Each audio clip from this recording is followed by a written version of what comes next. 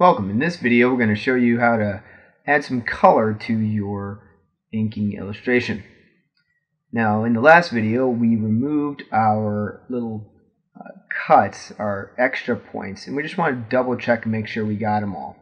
Uh, right here, I see one that when I click on it, it's not quite cut all the way through because I didn't quite overlap.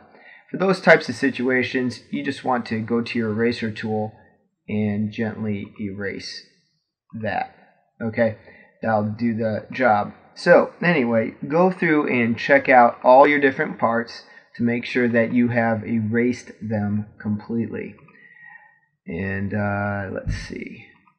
So um, I don't know if you notice I am incrementally saving these. I'm changing my save name as I move.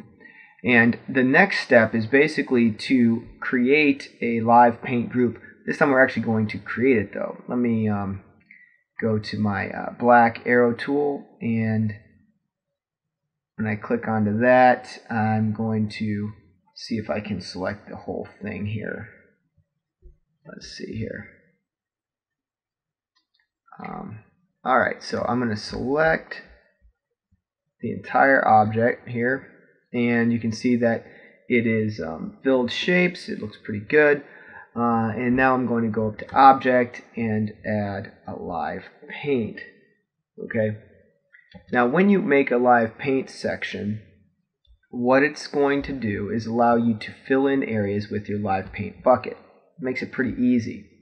I'm going to click off of it and I want to make some extra colors right quick. So to bring up my extra colors, I'm just going to expand my window here and I'm going to switch over here with nothing selected to, um, how about a dark blue here? It's not quite dark enough. Let's see, that's a good one.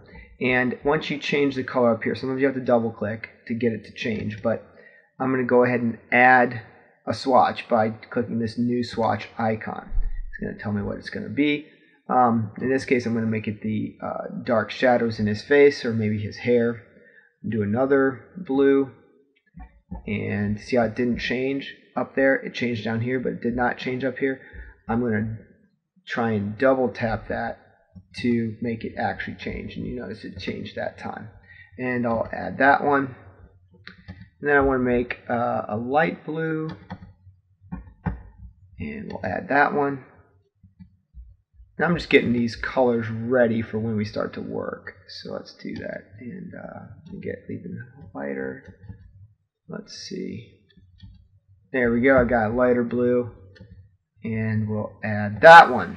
Alright, so now that I've added some colors to my palette that I'm going to use inside my character, I can start filling in my character.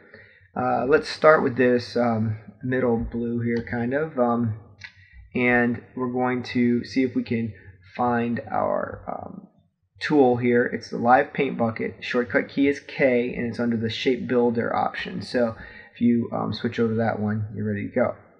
And you can see that you're getting um, an easy way to fill in a region when you do that. And basically, I, that's what I wanted to do with his face. Uh, I wanted to do some darker blue in his hair. So we'll do some darker blue in his hair. Let's see here, and then a dark, dark blue out here. All right, so you basically fill in regions.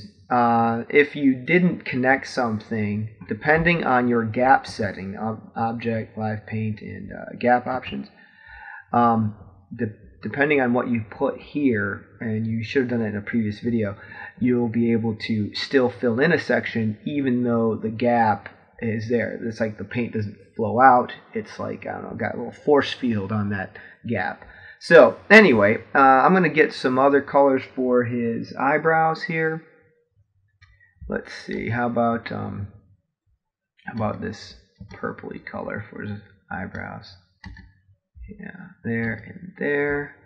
And then inside his eyes, I want some white in the white part of his eye. That's this little guy here let's see, there and there, and then his teeth white, and then um, let's see, let's give him some, yeah, green eyes. We'll go green eyes So we're going to get some green eyes here and here. And then on the inside of the pupil, we're going to go with black. And we'll fill that in and fill that in. So, um, oh, I need to do one more. Forgot, I got to get the other color of his goatee here. So let's get that in. All right. So what you want to do is try and see if you can fill in all the sections with solid color. It doesn't really matter if they're exactly how you want them because we can adjust them later. But just try and get all the solid colors in in this video and then save it and we'll move on.